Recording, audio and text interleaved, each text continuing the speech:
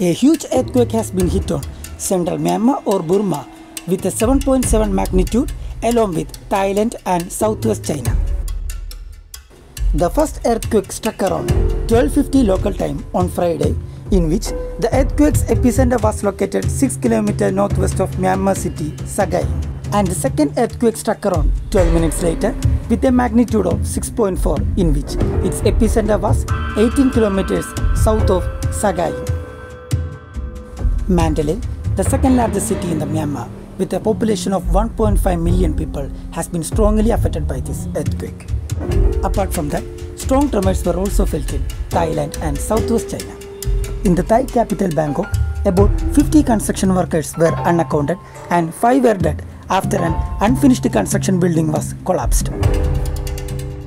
Myanmar is considered to be the most geologically active area and also as the earthquake prone area because as it sits on the convergence of four geologically tectonic plates such as Indian plate, Eurasian plate, Sunda plate and Burma microplate. There is a major fault known as the Sagaing fault that cut along through the north and south Myanmar with a distance of 1200 kilometers long. According to the data, the movement that caused the 7.7 magnitude earthquake on the Myanmar was the strike slip movement that formed by the friction buildup in the Sagaing fault as the Indian plate collided with the Eurasian plate. Subscribe and follow for more and share your thoughts in the comment section. Thank you.